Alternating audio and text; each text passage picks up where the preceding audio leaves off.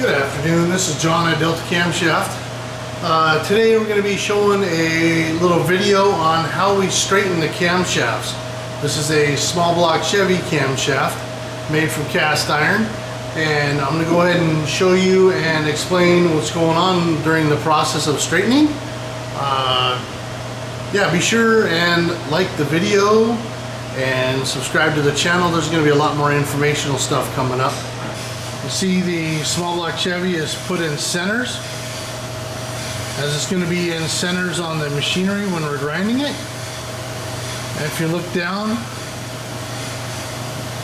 the dial indicator there, go ahead and zoom in on it.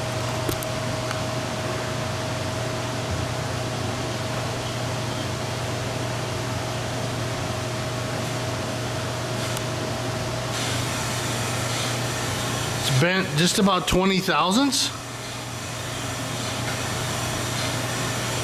So what we're going to do here is we're going to find the high spot and the low spot.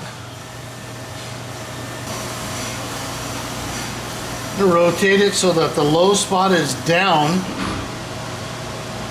And what we're going to do here is we're going to hit it, hit it with the air gun it's going to relax the molecular structure of the backside. Right now there's tension pushing down on it. When I hit it with the air gun, it's going to relax the molecular structure on the backside and allow it to expand up higher than it was.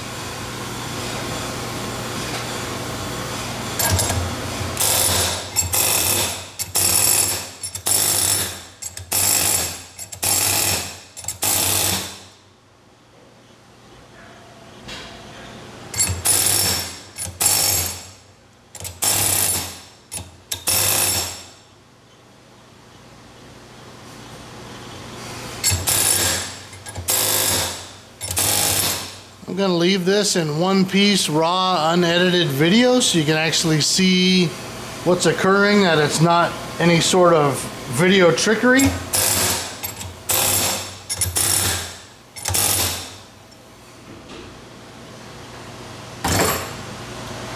still see it.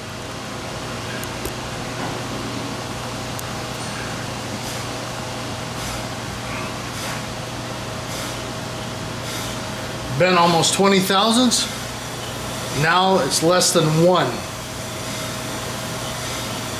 And that's how we straighten a camshaft. Hello, this is John, the owner of Delta Camshaft. If you have any questions or comments or anything that you guys would like to have videoed and explained on my YouTube channel, please leave a comment below in the box and be sure to tell your friends to subscribe. If they have any questions or comments, get a hold of me directly or comment on this video or reply back to it.